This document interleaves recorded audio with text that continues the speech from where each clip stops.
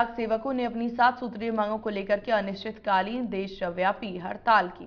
जिसकी वजह से ग्रामीण डाकघर का कामकाज ठप है। श्री माधोपुर के मुख्य डाकघर के सामने डाक सेवकों ने प्रदर्शन कर नारेबाजी की, जिसमें आठ घंटे का कामकाज, पेंशन समेत सभी सरकारी लाभ देने, कमलेश चंद्र कमेटी की सभी सिफारिश को लागू करने सहित अन्य मांगे की।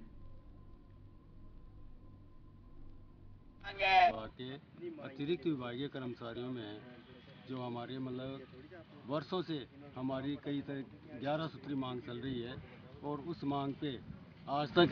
न डिपार्टमेंट ने, न सरकार ने कभी हमारे ऊपर ध्यान नहीं दिया है। हमारे साथी हैं, वो आजीवन मतलब इस डिपार्टमेंट को अपनी सेवा दे के चले जाते हैं, उसके बावजूद रिटायर होने के बाद उनको कुछ भी नहीं मिलता। यहाँ से मतलब जाने के बाद में उनका बुढ़ापा है, वो कैसे गुजरेगा, कैसे नहीं गुजरेगा उसका कोई इनको मतलब नहीं है। आपकी प्रमुख क्या मांग है? कि ये जो मतलब अपने हमारी प्रमुख मांगे हैं कि हमें एक तो आठ घंटे का मतलब कार्य दिया जाए और ये जो हमें टीआरसी वगैरह और ये जो कमीशन बेस पे जो काम करवाते हैं जो आईपीपीबी का और ये ये आधार कार्ड बनाने का